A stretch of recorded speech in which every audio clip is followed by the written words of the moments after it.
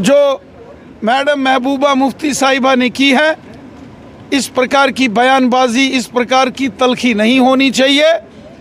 सियासत में एक दूसरे की मुखालफत, एजेंडे के ऊपर, मैनिफेस्टो के ऊपर, इलेक्शन प्रोग्राम के ऊपर हो सकती है। इलेक्शन में कहीं किसी के साथ किसी की दुश्मनी नहीं होती। एक ज़माना था कि जम्मू कश्मीर में जब कोलेशन सरकार थी तो उस कोलेशन सरकार का हिस्सा महबूबा मुफ्ती साहिबा भी थी। एक ज़माना था जब मरकज़ में वाजपेयी साहब प्राइम मिनिस्टर थे तो मोहतरम उमर अब्दुल्ला साहब हमारे मुल्क के फॉरेन मिनिस्टर थे। इसलिए पॉलिटिक्स के अंदर ज़रूर अपनी ज़ोर आजमाइश होनी चाहिए, इसमें कोई दो राय नहीं है। सबको अपनी जमात को जीतना, जिताने के लिए कोशिश सब करते हैं, लेकिन दुश्मनी के कगार तक हमें नहीं पहुँचना चाहिए। हमें अपने एजेंडे को, अपने मिशन को, अपनी पॉलिसीज़ को आवाम के साथ रखना चाहिए।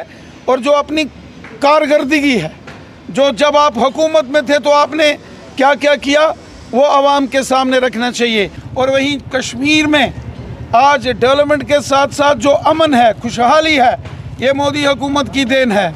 वरना एक ज़माना होता था कि शाम चार बजे लाल चौक बंद हो जाता था। आज रात के दो बजे भी लाल चौक खुला होता है और दो करोड़ से ऊपर टूरिस्ट कश्मीर आते हैं, रजौरी, पुंछ आते हैं और आज अमन है, खुशहाली है।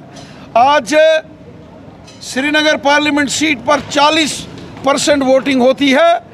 तो बारामूला में 60 परसेंट पोलिंग होती है।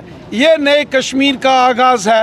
ये लोगों की खुशहाली और जमहूरी निज़ाम में लोगों का बढ़ता हुआ विश्वास है, जिसके लिए मैं वादी कश्मीर की आवाम का मशहूर हूँ और उनका शुक्रगुजार हूँ।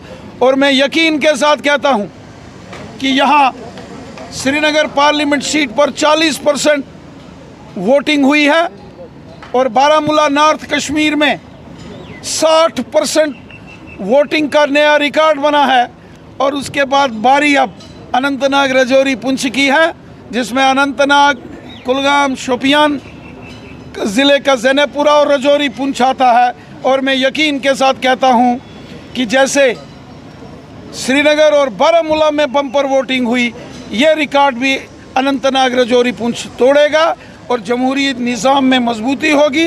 अमन, खुशहाली और डेवलपमेंट के लिए आवाम वोट डालेगी।